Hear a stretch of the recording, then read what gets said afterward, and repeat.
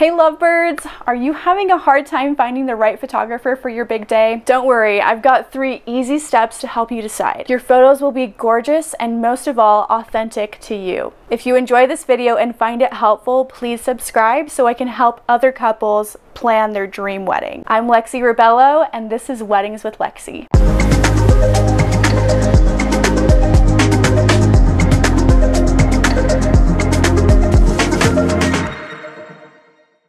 Now I know that I personally had a hard time finding the right photographers for my wedding and that's exactly why I'm making this video for you. So step number one, before you go looking for a photographer, decide on your style. There are two kinds of styles, documentary and portraiture. Documentary style is more candid, spontaneous, and less posed. With this style, you'll very rarely see people staring at the camera. The photos capture the moment exactly as they happen, telling a story. Now portraiture style is great great if you prefer a more classic style. That's not to say there's no room for creativity in this category. A good example of this would be a couple sitting in a lounge chair at their extravagant venue. Usually these photos are very dramatic, think magazine cover. Now step number two, once you decide on a style, you can start looking for the photographer. I would start looking for a photographer based on reviews. Check out the content that these photographers have already shot. This will give you an idea of their style. Also check out their social media profiles. Is the feedback from clients positive? How does the photographer respond to comments? And last but absolutely not least, step three, make sure that you budget correctly for a photographer. Hint, hint, and a videographer. Brilliant photos and video cost a lot, but they last a lifetime. So it's definitely an investment worth making. And most of these artists, like me, offer payment plans. Memories are priceless and high quality makes all the difference. Thank you for watching this video. I hope you learned a lot about finding the right photographer and videographer for you. If you did learn something from this video, subscribe to my channel and hit that notification bell to get notified of when I release new videos. Thank you again and I'll see you in the next video.